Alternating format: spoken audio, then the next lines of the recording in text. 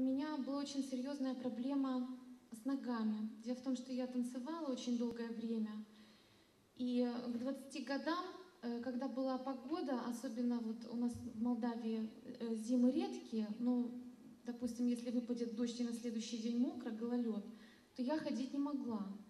То есть я э, ходила, и мне обязательно нужны были какие-то столбы, деревья, потому что у меня тут же хватали судороги на ногах полностью от пальцев до бедер. И были такие моменты, когда просто, ну я просто не могла передвигаться. Я засыпала только ноги вверх, чтобы кровообращение двигалось по-другому. Спать по-другому я не могла. Э, когда была погода, перемена погоды, то я не могла просто найти себе место, потому что у меня выкручивали все суставы, и боли были очень сильные. К врачу я не обращалась, я была несколько раз у массажиста, вот, и он мне сказал, Наташа, просто срочно нужно что-то с этим, тебе нужно принимать лечение и завязывать с танцами, потому что нельзя. К 30 годам ты можешь быть просто инвалидом. И вот я узнала об обществе, узнала о Бруно, узнала об этой энергии, начала ее принимать в 97 году, 10 декабря. Первая была моя встреча. Я приняла сразу, очень открылась. Исцеление получила, честно говоря, наверное, спонтанно. Я, у меня не было регуляции по этому поводу. Я просто совсем забыла о том, что у меня была эта проблема. Настолько меня поглотила эта жизнь, Э, нашей молодежной группы, все как-то изменилось. И когда, первый, когда я поняла, что, как я поняла, что я получила исцеление, мы поехали э, в Крым на молодежную неделю, и когда там были очень серьезные нагрузки, и вдруг уже в конце нашего заезда я вдруг понимаю, что у меня были очень серьезные нагрузки, мы поднимались в горы, я не испытывала боли совершенно никакой, ни до, ни после вообще. И с того времени таких состояний у меня больше не было никогда. Но самая основная проблема это было психологическое состояние, потому что произошли очень серьезные перемены в жизни. Мне было 16 лет, умер папа, и начались очень серьезные проблемы с мамой. У меня была маленькая сестричка. И к 20 годам я просто боялась жить. Я просто боялась завтрашнего дня. И было несколько попыток уйти из этой жизни. Ну, наверное, Господь видел меня, помог мне остаться. Это было очень страшно. Я уходила из дома, боялась оставаться самой собой. Я часами ходила по городу, чтобы э, быть в каком-то среди людей, чтобы, не дай Бог, не сделать ничего. И, конечно, то, что сейчас, какая у меня жизнь, когда я ее не боюсь, когда я ей только радуюсь и радуюсь каждому дню, когда я радуюсь за своих детей и я знаю, как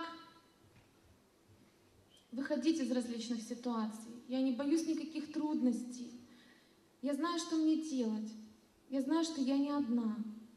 И это самое главное для меня. Я хочу рассказать о помощи, которая э, была у моей мамы, Нишпал Галины Федоровны. Э, в 89 году мы узнали, что у моего отца рак легких.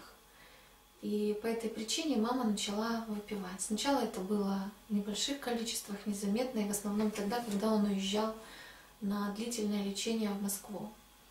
Вот. С каждым годом пила мама все сильнее и сильнее. В 93 году папа умер. И в это время мама начала пить практически каждый день. В этом же году папа умер в марте, а в мае месяце этого же года – умер э, мой дедушка, мамин отец, которого мама тоже очень любила. Вот это еще усугубило ситуацию. Вот. Мама начала пить очень сильно. И практически все, что попадалось под руку, все это было очень агрессивно. И скандалы, и крики, и слезы. Вот. Это как наркотик. Если он сейчас не выпьет, он просто может, организм может не выдержать. Поэтому Э, здесь уже у нее не шло никаких человеческих каких-то чувств материнских. У нее просто был инстинкт выпить и все. Поэтому выносилось все, что все, что попадалось и все, что могло, можно было вынести. Ковры, мебель, посуда, оконные окна, стекла из окон. То есть все, чтобы только, вот, чтобы только возможно было выпить. Она Э, два раза кодировалась, вот, но это ничего не помогало. Вот. Было несколько белых горячек и несколько... Ну, каждый день вызывали скорую помощь домой. Несколько раз у нее останавливалось сердце, я это видела, вызывали скорую, ее просто откачивали прямо здесь. И, вот.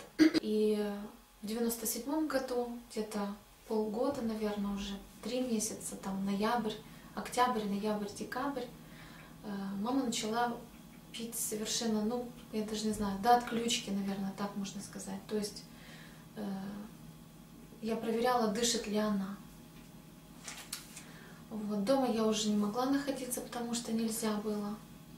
Вот. И в декабре 97 -го года я узнала о учении Бруно Грининга. Стала принимать энергию и стала просить возврата на божественный путь для нее. Домой пришла после видения, принесла и поставила на шкаф Э, фотографию Бруно Грининга и журнал, который мне дали. Говорить я с ней не могла, потому что она была не в меняемом состоянии. Вот. И ушла.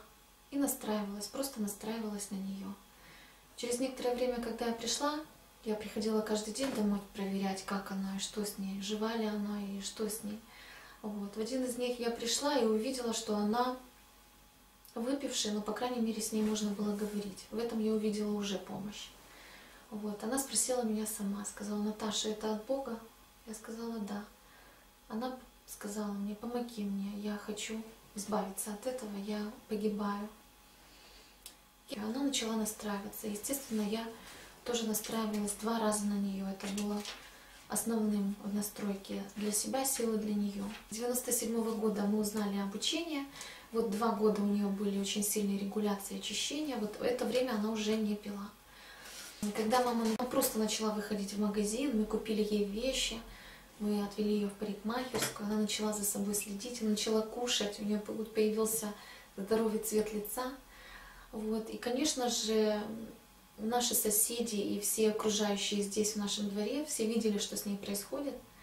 Вот. И когда увидели, какая она была после того, как она узнала об обучении Бруно, то ко мне просто подходили наши соседи, чужие просто люди, и спрашивали, что произошло, потому что это невозможно. Э, считается, что женский алкоголизм он неизлечим. Вот. Но мы от этого ушли. Женский алкоголизм излечим. На этом пути нет ничего неизлечимого, это я знаю.